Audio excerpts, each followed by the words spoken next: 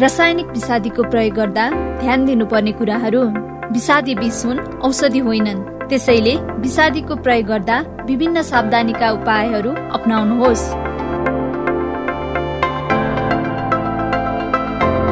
विषादी प्रयोग गर्नु पूर्व विषादीको प्याकेटमा भएको पर्चा र त्रिकोणात्मक आकारको चिन्हलाई राम्रोसँग हेर्नुहोस्।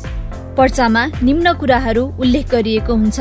एक रासायनिक विषादी कुन बेला कसरी र कुन बालीमा के का लागि प्रयोग गर्ने?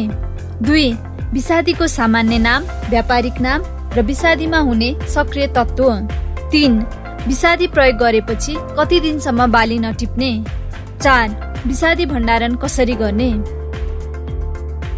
विषादीको प्याकेटमा त्रिकोणात्मक आकारका रातो पहेँलो निलो र हरियो रङका चिन्हहरू हुन्छन्। यी चिन्हले विषादीको खतरनाक स्थितिबारे जानकारी दिने गर्दछ जस्तै रातो रङ भएको विषादी। रातो रङ भएको विषादी बढी खतरनाक हुन्छ। अहिले यी विषादी प्रयोगका लागि प्रतिबन्ध गरिएको छ। त्यस्तै गरी पहेँलो रङ भएको विषादी। पहेँलो रङ भएको विषादी खतरनाक हुन्छ। निलो रङ भएको विषादी। निलो रङ भएको विषादी मध्यम खतरनाक हुन्छ र हरियो रङको विषादी। हरियो रङको विषादी कम खतरनाक हुन्छ। त्यसैले विषादीको प्रयोग गर्दा सकेसम्म कम खतरनाक विषादीको प्रयोग गर्नुहोस्। विषादीको प्रयोग गर्दा आफ्नो शरीरको सुरक्षाका लागि सुरक्षित पहिरन लगाउनुहोस्। शरीर ढाक्नका लागि पुरा बाउला भएको कपडा अथवा एप्रोन लगाउनुहोस्। हातमा पन्जा नाकमुख छोप्न मास्क आँखा छोप्न चस्मा टाउकोमा क्याप अथवा टोपी तथा खुट्टामा लामो बुट लगाउनुहोस्।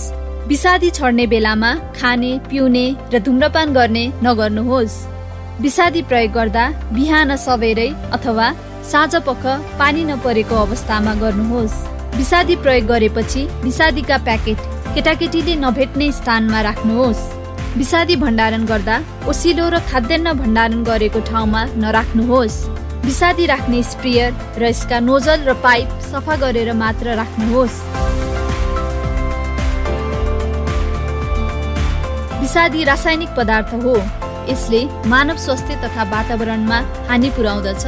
तसर्थ विषादीको प्रयोग गर्दा विशेष सावधानी अप्नाऊ